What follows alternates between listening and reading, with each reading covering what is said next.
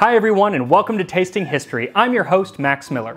On each episode of Tasting History, I show you how to make a dish from the past.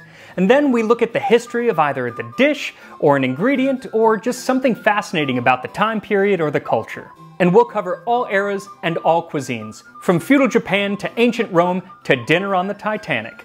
Nothing is off limits. So if you like food and you love history, hit subscribe and join me on Tasting History.